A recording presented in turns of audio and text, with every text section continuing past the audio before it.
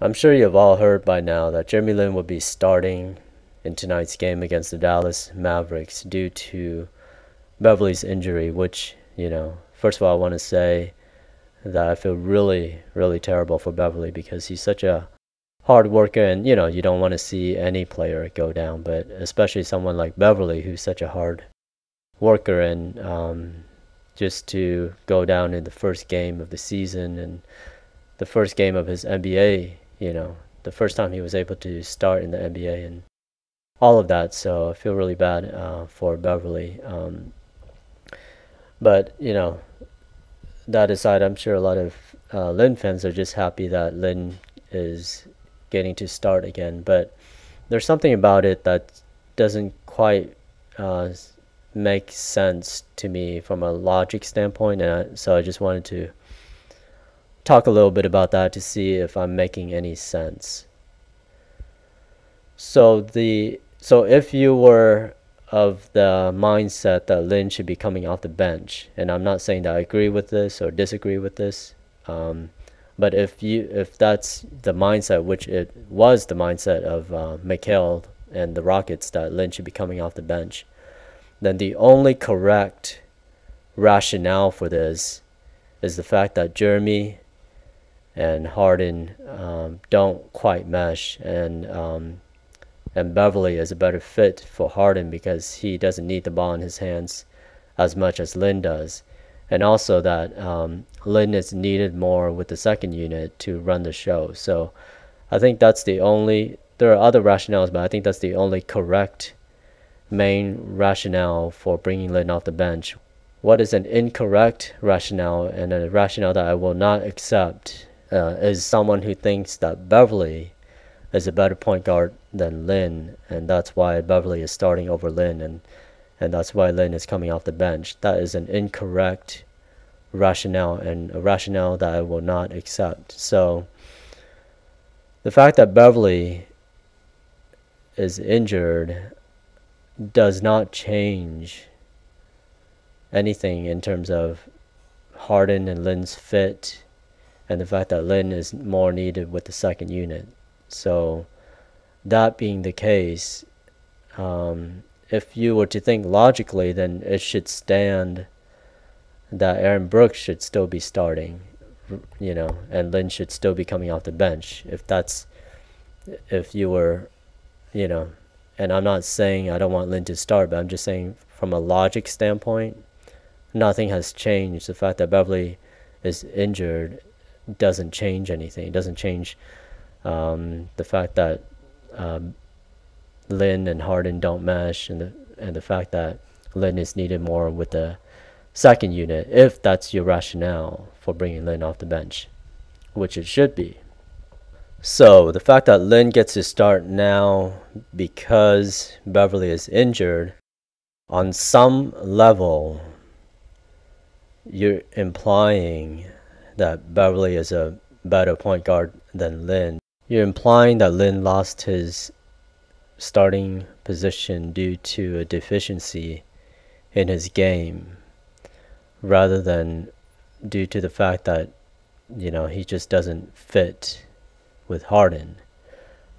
And if you're implying that he lost it due to a deficiency in his game, then that's just an incorrect rationale and you know one that I will not accept. But I think you know on some level you can see that why does Lin get his starting position back when Beverley is injured? Why doesn't Aaron Brooks take over? Because again, nothing has changed. Um, the reason for bringing Lin off the bench has not changed. So on some level, the fact that Lin gets his starting position back tells me a little bit, and you know, I'm still not sold on this, but I just want to bring it up. But it tells me a little bit that McHale, on some level, feels that Beverley is a better or equal point guard to Lin, and I think that's just Jeremy Lin doubter, Jeremy Lin hater rationale we'll see what happens once Beverley comes back. If if Lin loses his starting position once Beverley comes back, then it really does speak to the fact that they were benching Lin because they favored Beverley over Lin, not due to some fit issue, or at least um, the fit issue wasn't as much a part of it. It could be that, you know, McHale saw something in the first game and he felt that he needed Lin out there with the starting unit. Uh, so that could be a reason. But if that's the case, then Lin should be able to keep his starting position once Beverley comes back. The only other way I can look at it from a favorable view for McHale and the Rockets is that Aaron Brooks hasn't had that much experience playing with the first unit, or you know, he didn't really practice with the first unit, and so I think it's a bit of a gamble to uh, have Aaron Brooks be the starting point guard, or, or at least I think that's the rationale. I don't agree with that. I think you know, Aaron Brooks is just as good playing with the first unit as as Beverley is. So I don't really agree with that at all. Um, but I think on some rash, you know, I can kind of see that that's why they would start Lin over Aaron Brooks, and then and then once Beverley comes back, bring Lin off the bench again. But still, I don't really, you know, I don't really accept that. I think um,